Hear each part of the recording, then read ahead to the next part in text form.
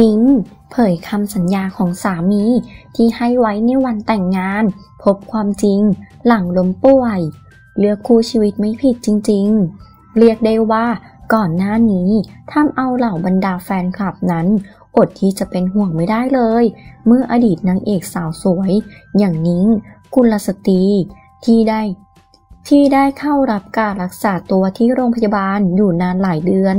หลังจากที่ตรวจพบว่า เจ้าตัวนั้นป่วยเป็นโรคไขกระดูกบกพร่องทำเอาหลายๆ คนนั้นตกใจไม่ใช่น้อย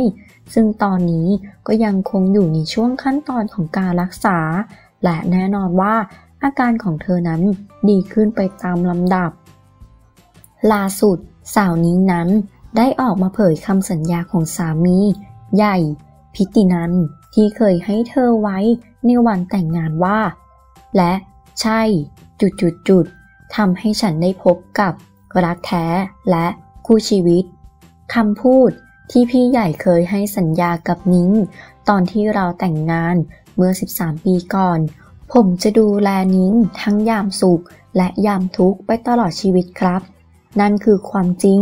November 27 2019 Hashtag รักษาสุขภาพด้วยนะคะ รัก รัก กอด กอด Hashtag คืนนี้นอนไม่ค่อยหลับ Hashtag รอให้ยาวรอบ6โมงเช้าเลยดีกว่า Hashtag เกือบถึงครึ่งทางไปสู่ทุ่งดอกลาเวนเดอร์หอมๆแล้ว สู้ๆ Hashtag ขอบคุณ Music Box น่ารักของน้องเดียนะคะ เรียกได้ว่ารักแท้นั้นยังมีอยู่จริง ยังไง ต้องขอเป็นกำลังใจให้สาวนิ้งหายป่วยไวๆด้วยนะคะ